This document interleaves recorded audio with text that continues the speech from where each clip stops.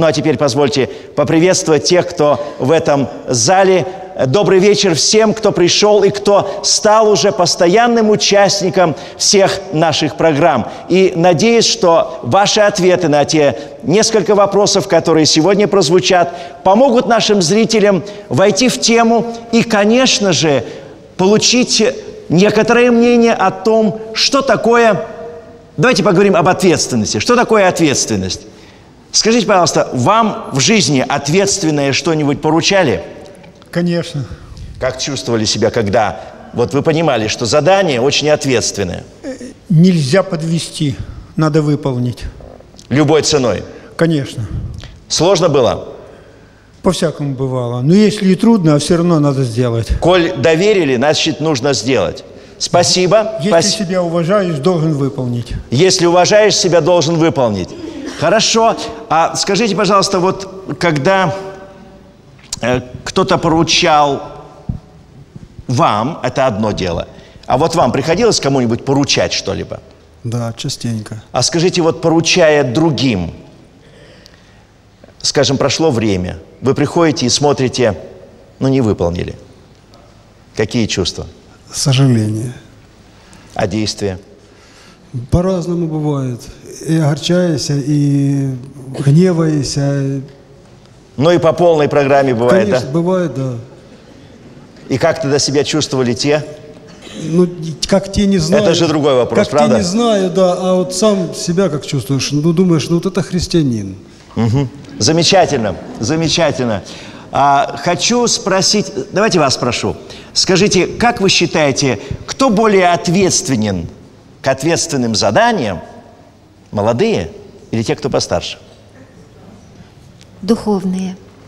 Духовные. То есть возраст Не имеет значения.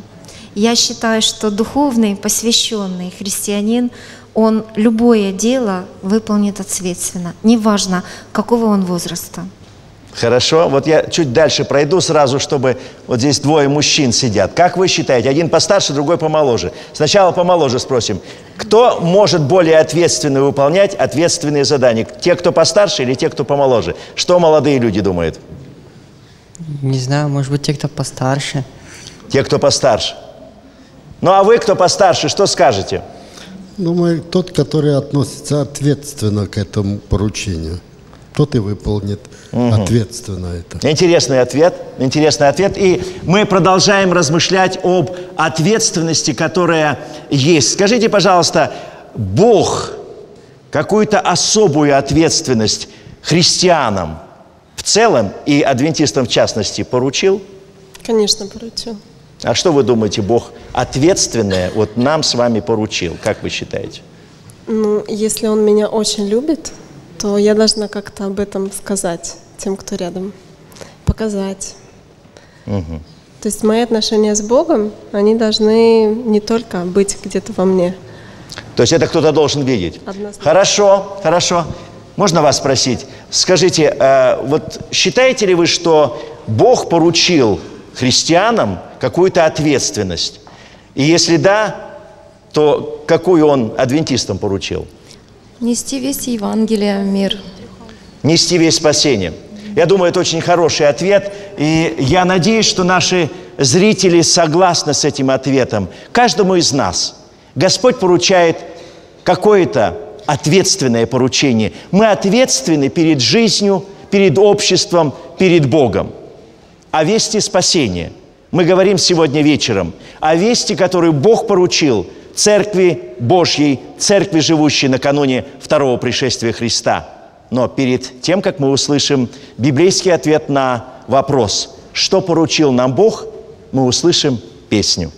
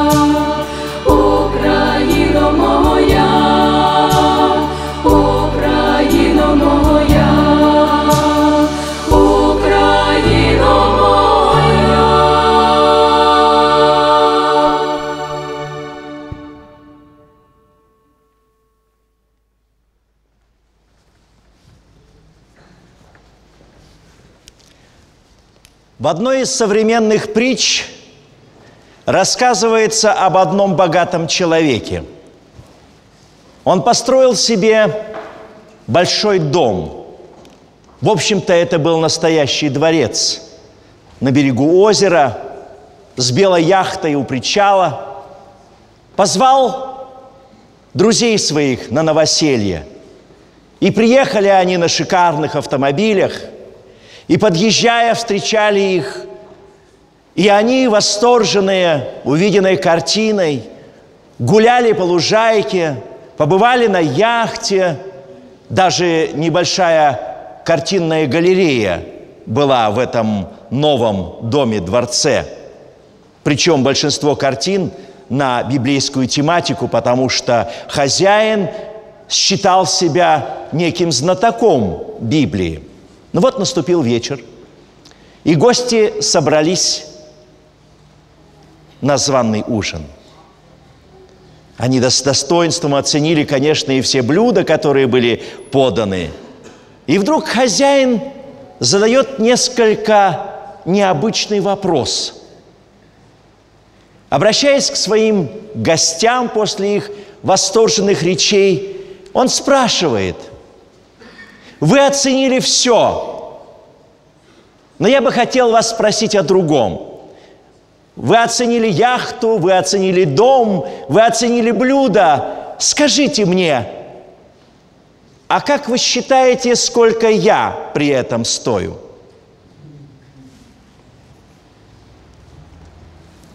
Наступило молчание, гости замолкли, стали немного шептаться, какая-то неловкая пауза.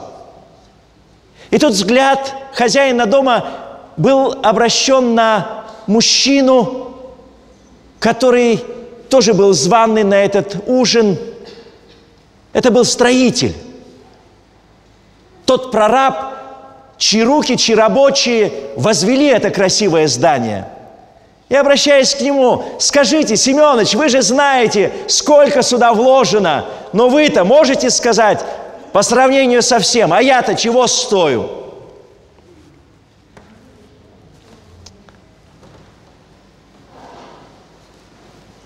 Строитель призадумался, а потом таким тихим, но уверенным голосом сказал, «Да, из всех объектов, что я строил в моей жизни, это самый дорогой. Столько, сколько вложили сюда, нигде в другом месте мы еще не вкладывали. Но если, Петр Алексеевич, вы спрашиваете, сколько бы за вас я дал, то не больше 30 серебряников. В зале загудели, зашумели, зашептались. Хозяин покраснел и спрашивает его, Семеновича, а что вы имеете в виду, когда так оценили? Да твои рабочие больше генерала получали. Да, да, Петр Алексеевич, вы хорошо платили, мои рабочие хорошо получали, но не могу дать за вас больше. Вы догадались? Вы догадались? Не могу дать больше, чем заплатили за Творца и Господа жизни. Если мы чего-то стоим в этом мире, если моя жизнь чего-то стоит, если мой труд чего-то стоит, то мы не стоим больше, чем стоит тот, кто нас спас. Я хотел бы вместе с вами сегодня поразмышлять о том, чего мы, как христиане, чего мы, как церковь адвентистов седьмого дня, стоим в современном мире, в современном обществе. Что мы могли бы сказать сегодня миру и сказать открыто, что вот это то, что составляет особую ценность? О, конечно, мы могли бы сегодня перечислить много и э, разных достижений, которые достигла церковь. Мы могли бы сказать, что в области медицины адвентистские учреждения, адвентистские университеты шагнули далеко вперед, впереди планеты всей. Да, мы могли бы похвастаться, что в Лома-Линда, в нашем медицинском центре совершаются операции на э, сердце у новорожденных младенцев, и мало кто в мире это умеет делать, но делают. Мы сегодня читаем статьи, напечатанные светскими авторами, зарубежными и местными, где пишут о церкви адвентистов седьмого дня, и мы можем похвастаться, адвентисты дольше других живут, потому что здоровый образ жизни – это один из принципов их жизни и учения. Мы могли бы перечислять, может быть, еще много разных достижений, но мой вопрос снова тот же, что когда-то задал и тот человек. От чего, собственно говоря, мы стоим в глазах Бога? Чем мы ценны пред миром этим? В чем наша ответственность перед обществом? Что стоит христианство в современном мире? Конечно же, не хотелось бы, подобно олигарху, просто перечислять достижения, сделанные кем-то – Обращаясь к Священному Писанию, мы находим такое, я бы сказал, общее определение для всех людей, что Бог ценит в людях. Книга пророка Михея, 6 глава, стих 8. «О человек, сказано тебе, что добро, и чего требует от тебя Господь, действовать справедливо, любить дела милосердия и смиренно-мудренно ходить пред Богом твоим». Я думаю, что ни одна религия в мире не будет возражать, что это хорошая основа. Более того, я бы даже сказал, что и светские гуманисты, которые, в общем-то, Бога и не принимают, не скажут ничего против этого. Ведь так действовать справедливо, милосердно относиться к тем, кто слабее, кто меньше, кто младше. Да разве этому нас не учили даже в советской школе? Да, конечно, это было, это есть. Давайте изучать тогда дальше. Общечеловеческие принципы, общечеловеческая ответственность друг перед другом. Она есть, она заложена в Святом Писании, она должна быть принята нами и исполнена. Я хочу обратиться снова к истории Ветхого Завета. Моисей послан Богом, призван Богом у горящего куста, чтобы отправиться и освободить Израиль из рабства, спасти этот народ. Книга Исход, 6 глава, стих 6 и 7. И вот послушайте, что Господь говорит. «Итак скажи сынам Израилевым, «Я Господь, и выведу вас из-под иго египтян, и избавлю вас от рабства их, и спасу вас мышцею простертую и судами великими, и приму вас себе в народ, и буду вам Богом, и вы узнаете, что я Господь, Бог ваш, избавивший вас из-под иго египетского». Читая эту историю, у нас могут быть возникнуть вопросы. А, собственно говоря, зачем выводить и зачем эта длинная такая вот э, э, канитель такую разводить? По пустыне 40 лет, туда идти. Можно было бы проще решить. Власть сменили, Поставили своего ставленника, ну типа Иосифа, когда он был там. Да, его вопрос решен. Никаких угнетений. Они сами хозяева, они сами владыки. Но почему-то Бог посылает Моисея и говорит, пойди туда и оттуда выведи. Выведи в лучшую землю. А, может быть, у Бога есть любимчики – может быть, он хотел в лучшие земли поселить свой народ. И для этого говорит Моисею, давай выводи, спасай их из рабства. Нет, конечно. У Бога любимчиков нет. Бог любит всех и каждого. Бог творец всей, всей вселенной и всякого народа, и всякого колена. Но когда мы думаем о том, почему же Бог повелевает, чтобы они были отдельным народом, жили в другой стране, то ответ мы найдем в Писании – и ответ мы найдем, знаете, в псалме Давида. Но только не открывайте книгу «Псалтырь», потому что этот псалом Давидов не в книге «Псалтырь». Вы скажете, так не бывает. Все псалмы... Бывает? Бывает. Первое Паралипоменон, 16 глава стих 23 и 24. Возможно, это и есть первый псалом. По крайней мере, там указано о том, что э, это первый псалом, который Давид дал Асафу для хорового пения. И вот послушайте, что там в этом псалме написано. «Пойте Господу вся земля, благовествуйте изо дня в день спасения ее, возвещайте язычникам славу Его, и всем народам чудеса Его. Для чего Бог Израиль вызвал из земли египетской? Зачем Он их привел в центр тогдашней цивилизации и поместил Израиль на перекрестке всех дорог? Цель очень ясна. Поручение, ответственность, которая возложена, более чем ясна. Не потому, что любимчики – не потому, что лакомый кусок хотел дать, а потому, что возлагает на них серьезнейшую ответственность. Не себе они псалмы должны петь, не свой слух услаждать. Для язычников звучит, может быть, несколько абсурдно, потому что вот так они посчитали, раз Бог дал, значит, я такой хороший. Раз мне дали, значит, мое. Ни с кем не поделюсь. А Бог-то говорил, даю вам, даю вам, чтобы этим народам, которых вы считаете негодными, проклятыми, которые грабят ваши села, города грабят, нападают на ваше жилище. Вот им, кто не знает Бога, кто идолам поклоняется, кто Бога живого не считает Творцом неба и земли, им вы должны петь особые песни, особые псалмы. Им вы должны славу Божью открыть.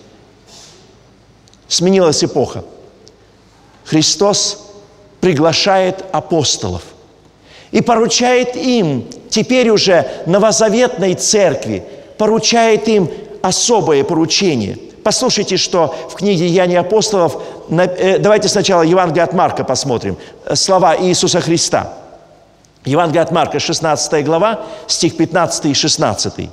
«И сказал им, идите по всему миру и проповедуйте Евангелие всей твари – кто будет веровать и креститься, спасен будет. Куда должны были пойти апостолы, последователи Иисуса? Идите по всему миру. И что делайте? Какое поручение? Проповедуйте. Не молчите. Не скрывайтесь за толстыми монастырскими стенами, не прячьте свою истину у себя дома, не спрячьтесь от соседей ваших, идите и провозглашайте, проповедуйте по всему миру. Чуть позднее, когда апостол Петр будет в доме у одного из таких, кого считали отверженными – недостойными язычниками в доме офицера римской армии, в доме у того, кого считали оккупантом. Но послушайте, что говорит апостол. Послушайте, как он открывает этому человеку поручение, которое Бог дал. Деяния апостолов, 10 глава, стих 42. «И он, то есть Бог, повелел нам проповедовать людям – и свидетельствовать, что Он есть определенный от Бога судья живых и мертвых. Какое поручение? Здесь чуть-чуть добавляет он. Проповедовать и еще свидетельствовать. Что такое свидетельствовать? Это рассказать о том, что с тобою было. Это рассказать о том, кто ты был и кем ты стал. Это предъявить доказательство, что христианство, вера в Богу, вера в Бога, она изменяет жизнь и делает ее совершенно другой. Если не каждый может проповедовать, то свидетельствовать, свидетельствовать мы можем. Даже самый немощный, даже самый слабый, даже тот, который не умеет читать, но в чьей жизни, в ком произошли эти удивительные перемены Божьей благодати, у всякого спасенного есть что сказать. Мы спасены, чтобы спасать. Хорошо, но это был первый век. А 21 В наш-то век какое поручение нам поручено, что нам делать, или мы не имеем какой-либо ответственности? Когда мы читаем Евангелие и слышим наставление Христа, то у Иисуса было очень много наставлений притч, где Он явно говорит о том, что каждый верующий во Христа имеет определенную ответственность. Помните, притча о талантах, притча о хозяине, который ушел из дома и поручил своим слугам – чтобы они не праздно время проводили, а чтобы они трудились, каждый на той, на той э, ответственности, которая ему поручена. Или помните притчу о десяти девах? Ведь эти все наставления Христос говорит не случайно, Он как бы предваряет событие, которое должно произойти. Он говорит, накануне пришествия Иисуса Христа, накануне моего возвращения должна церковь, каждый член церкви, всякий верующий должен не только бодрствовать, но и должен что-то сделать. Как сегодня я как христианин, мы как движение, мы как церковь последнего времени исполняем то, что Бог поручил. Это очень важный вопрос. Потому что в день пришествия Христа, в день, когда Он придет, там будет разделение.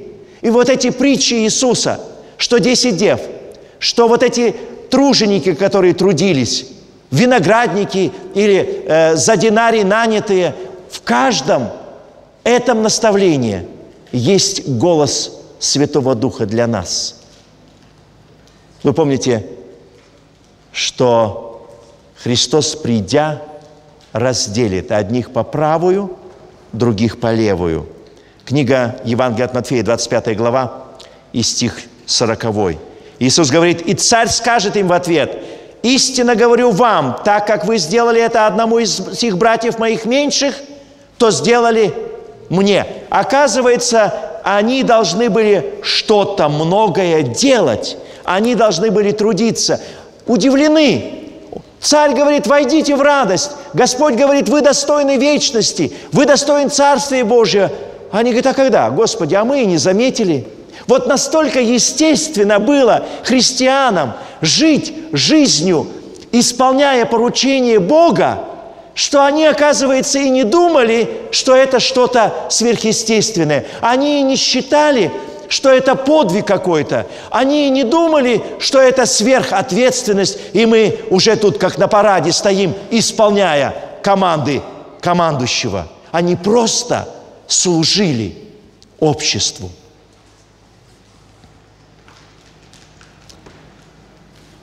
Господь Иисус течение трех с половиной лет личным примером и служением показал, что значит взять на себя ответственность и что значит служить обществу. Я думаю, все вы помните эти удивительные евангельские рассказы, где Иисус Христос насыщал толпы людей, где исцелял больных, прокаженных, восстанавливая их права в обществе. Я хочу обратить внимание на Евангелие от Марка, 6 главу, и стихи 34 и 35. Здесь говорится о том, что Иисус вышед, увидел множество народа и жалился над ними, потому что они были как овцы без пастыря, и начал учить их много – и как времени прошло много, ученики, приступившие к нему, говорят, место здесь пустынное, а времени уже много. И что дальше? Отпусти уже, хватит учить. Отпусти, пусть идут, найдут себе что-нибудь, где-то перекусят, и, может быть, завтра придут. А Иисус не соглашается. Иисус, обращаясь к ним, говорит, вы хотите их отправить? После этого долгого учения вы хотите, чтобы они просто так ушли?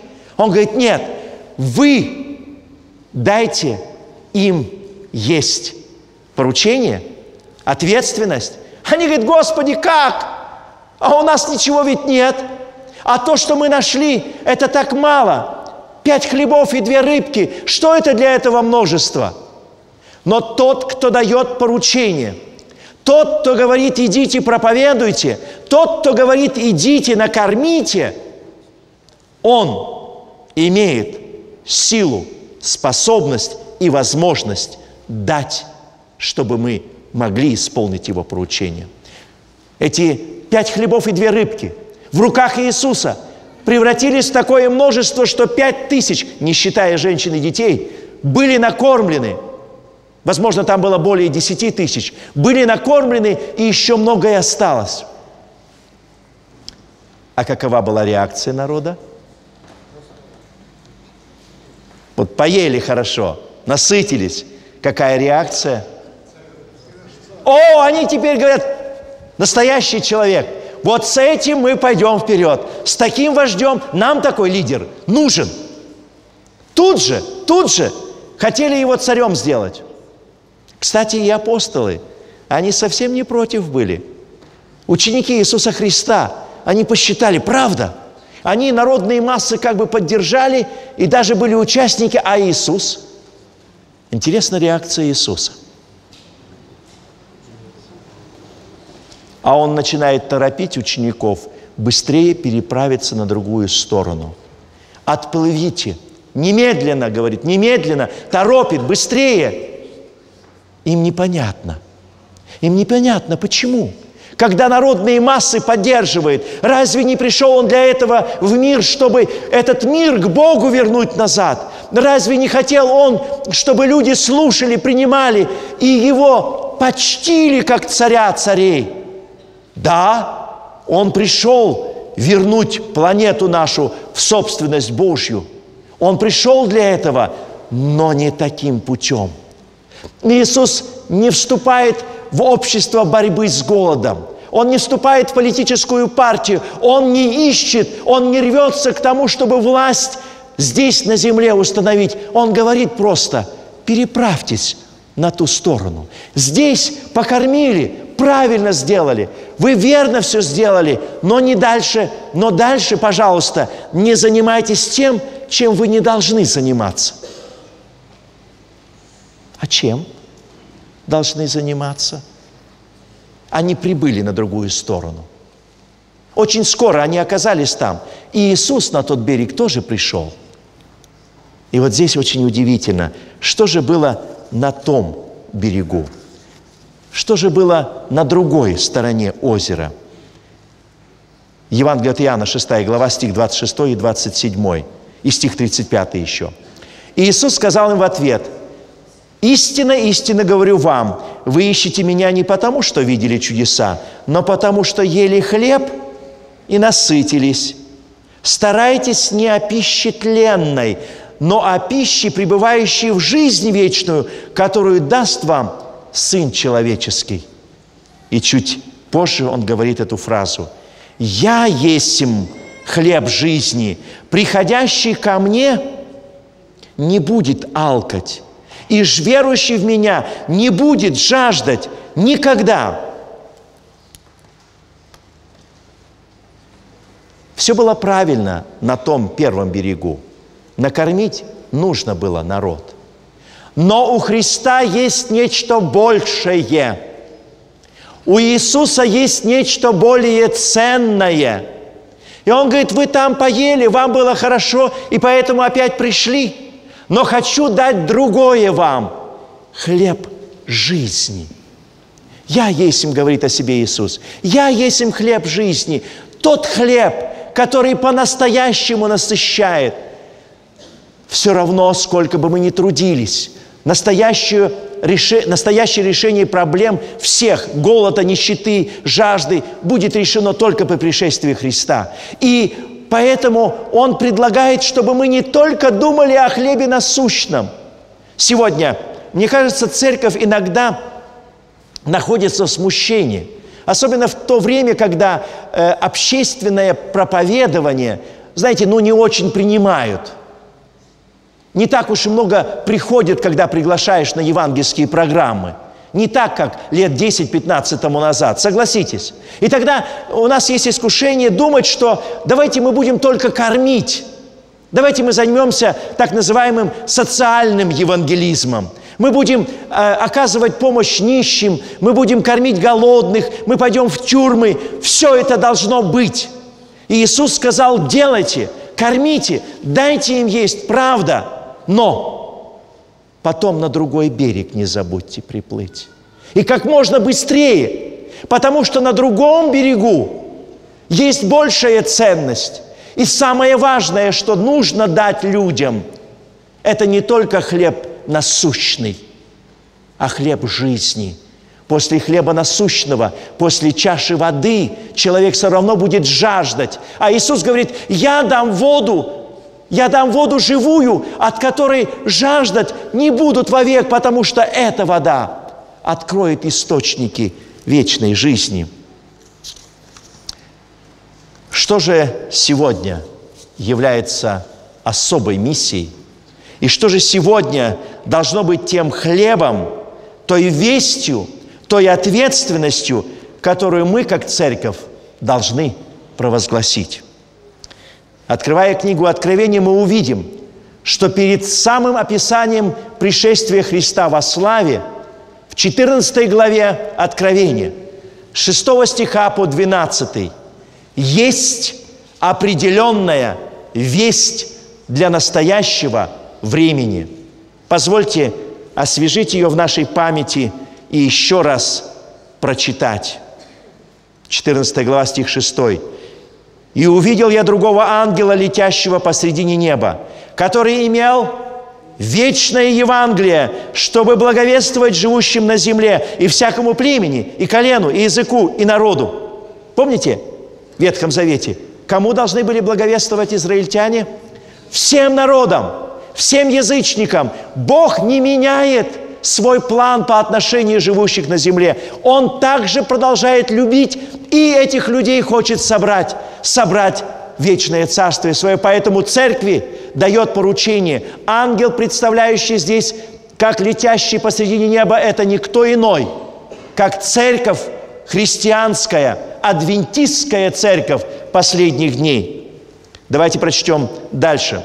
Услышим эту весть, которую э, здесь несут три ангела. Первое. «Убойтесь Бога и воздайте Ему славу, ибо наступил час суда Его, и поклонитесь сотворившему небо и землю, море и источники вод». В то время, когда ориентиры потеряны, в то время, когда каждый живет и считает, что его совесть – это лучший контролер, и если я считаю, что это правильно, значит так и правильно. Бог говорит «нет». Бог говорит, что есть нравственность, есть мораль, есть Божий закон и есть Божий судья. Бог будет судить этот мир. Как бы ни пытались сегодня представить его, что он это сделает не скоро, Библия говорит, что он праведный судья. А далее мы читаем слова, которые удивительно похожи на слова, которые буквально как цитата из заповеди. «Поклонитесь сотворившему небо и землю». Где эта фраза звучала уже? Там, в древности, где звучала? В четвертой заповеди Божьего закона. Люди забыли Творца, люди стали богам земным поклоняться, человеку поклоняться, человека возносить на пьедестал. А Бог говорит, о нет, истинный Бог, достойный поклонения, это тот, кто сотворил небо и землю. И день субботний, как печать этого творения, сегодня должна быть провозглашена как весть для последнего времени. Хотите служить Богу?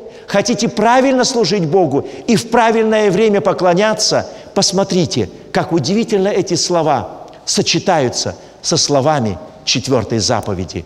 «Помни день субботний, чтобы светить его. Шесть дней работы и делай всякие дела твои, а день седьмой суббота Господу Богу твоему. Не делай вонный никакого дела». И почему? Да потому что Он сотворил небо и землю, море и источники вод.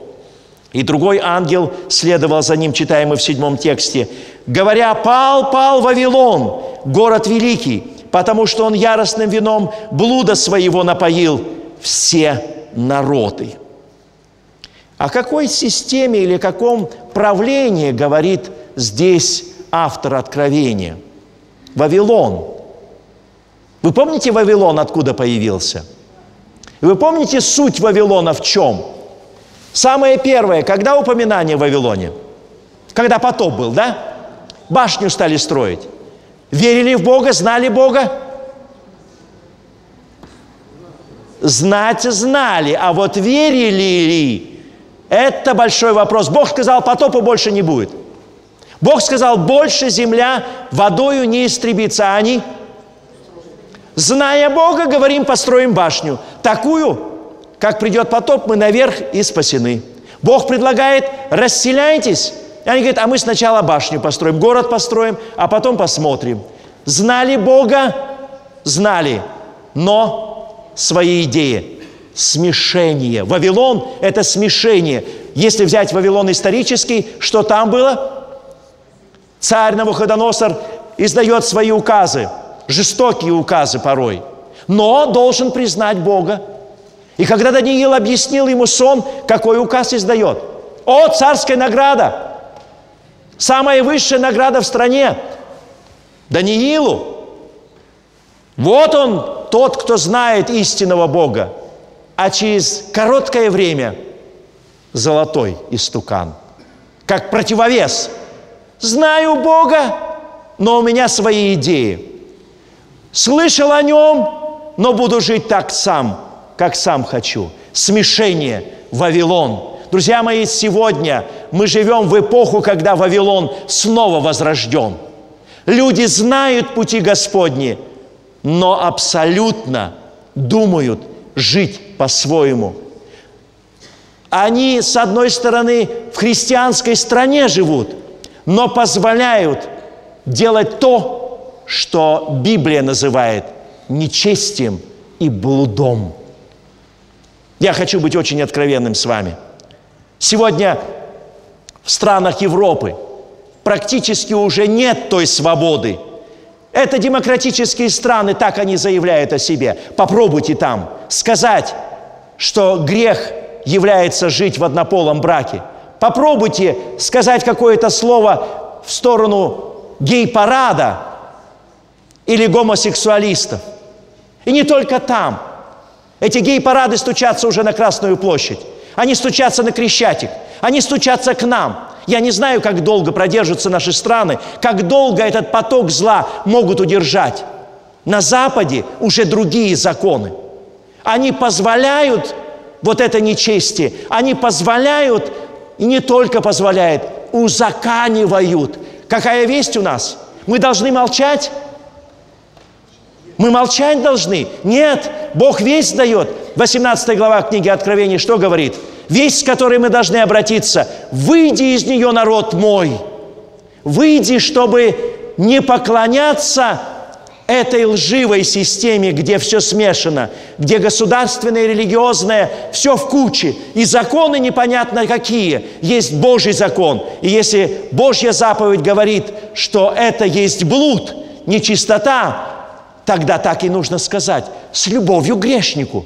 Бог не поручил нам камни поднимать. Бог не поручил нас суды свои совершать над теми, кто другой ориентации, голубые или розовые там. Нет, это не наше поручение. Но вызвать этих людей и дать им шанс сказать, что может и тебя Бог преобразить, может переродить твое естество, и ты будешь спасен для вечности. И, наконец, весть третьего ангела, она очень конкретна – она очень конкретна. Потому что третий ангел следовал за ним громким голосом, говоря, «Кто поклоняется зверю и образу его, принимает начертание на чело свое или руку свою, тот будет пить вино ярости Божьей, вино цельное, приготовленное в чаше гнева его, и будет мучим в огне и сере пред святыми ангелами и пред Агнцем, и дым мучений их будет восходить во веки веков, и не будут иметь покоя ни днем, ни ночью, поклоняющиеся зверю и образу его, и принимающий начертание имени, имени Его. Да, вот так нарисована картина. Божий суд будет определен. Но буквально следующий текст показывает нам, что не все будут в этом падении. Не все поклонятся зверю, и не все будут в Вавилоне. И у Бога есть народ, о котором говорится здесь терпение святых, соблюдающих заповеди Божьи и веру в Иисуса. Этот народ сегодня призван для особого служения. Этому народу вручена весть, которую он должен представить миру. Этому народу сегодня дано поручение рассказать о том, как они сами были спасены – они должны открыть миру, где же они обрели силы, что они не поклонились зверю. И они не оказались в Вавилоне. И они поклоняются Богу живому и не стесняются об этом говорить. Где они могли обрести это вдохновение, противостоять всем козням дьявольским? Да, нелегко. Да, это битва. Но послушайте прекраснейшее обетование, которое оставлено, нам Господом. Послание к евреям, 10 глава, 35 и 37 стих. «Итак, не оставляйте упования вашего, которому предстоит, предстоит великое воздаяние. Терпение нужно вам, чтобы, исполнивши волю Божию, получить обещанное, ибо еще немного, очень немного, и грядущий придет, и не умедлит. Терпение нужно. Но тот, кто поручил, тот, кто нас послал благовествовать, тот, кто весть нам вручил трехангельскую, неужели Он оставит нас одних? Он не оставил тех в лодке. Он пришел к ним ночью. Он не, не оставил тех, кто пришли на другой берег искать. Он дал им хлеб жизни. И сегодня мне и вам говорит, провозглашайте, проповедуйте, благовествуйте и имейте терпение. И знайте, что то, на что вы уповаете, это не пустая надежда. Еще немного, очень немного, и грядущий придет и не умедлит. Это истина, которую Господь сегодня предлагает мне и вам принять как весть настоящего времени.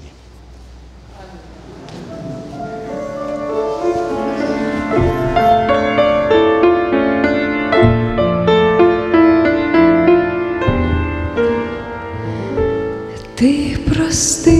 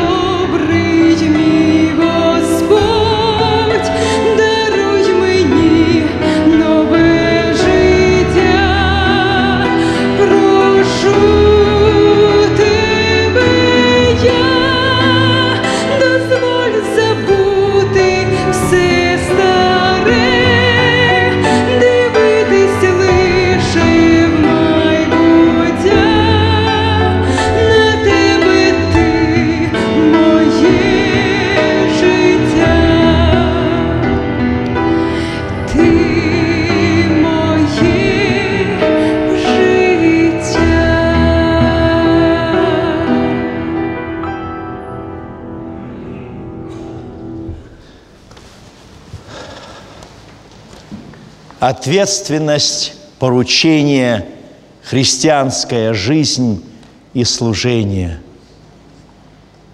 Не боимся ли мы иногда и не смущает ли нас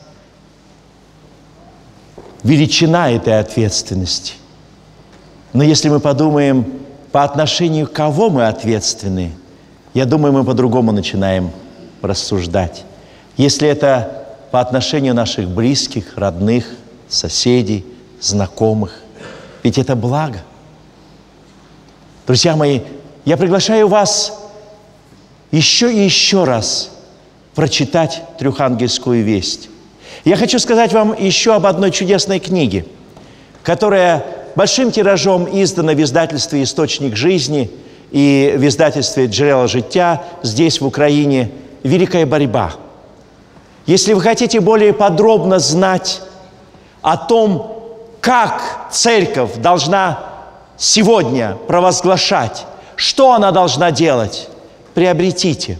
И не только для себя. Приобретите эту книгу для тех, кто рядом с вами.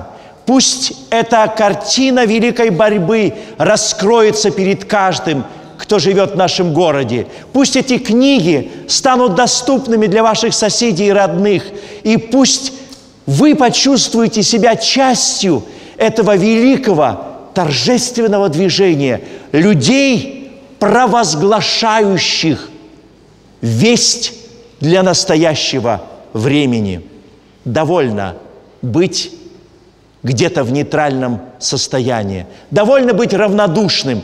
Настал тот час. Господь приглашает. Я хотел бы сегодня, приглашая вас к молитве, пригласить особую группу, чтобы они вышли вперед. Те, кто почувствовали и хотели бы быть ответственны за особое служение. Я приглашаю вас к молитве. А те, кто юн и молод, те, кто будут завершать проповедь Евангелия, если вы сегодня вечером почувствовали, что Господь Духом Святым приглашает вас стать участниками особого служения, я приглашаю вас, чтобы совершить вместе с вами, с молодыми, талантливыми, способными, энергичными. Хотя, может быть, молодые люди сомневаются, что, э, пожалуйста, молитвенные просьбы, что могут ли они, не сомневайтесь. Тот, кто поручает, он дает силы. Тот, кто говорит, идите, провозглашайте, он даст способность. Вы хотите стать участниками этого? Если кто-то хочет помолиться о молодом человеке, я вас тоже вместе с молодыми людьми приглашаю выйти сюда вперед. Молодые люди, прямо на сцену можете подниматься, не смущайтесь, потому что сегодня приглашение к вам, к молодым, те, кто знают истину, вам принять ту весть, вам принять ответственность и понести ее. Я знаю, что у вас много дел, у вас много сомнений, и вам кажется, что нужно успеть сначала все другое сделать. Оставьте, оставьте. Отправляйтесь на другой берег. Забудьте про суету этого мира. Забудьте про то, что вы считаете здесь важным – есть более важное дело – дело служения. И Господь приглашает молодых – не стойте на месте, идите вперед. Ваш шаг сегодня вперед – свидетельство, что вы приняли приглашение, приглашение Господа. И вы знаете, что нужно сегодня сделать. Я хочу молиться о вас.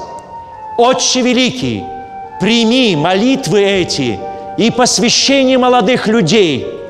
Пусть еще сердца многих загорятся любовью и желанием служить Тебе во имя Христа.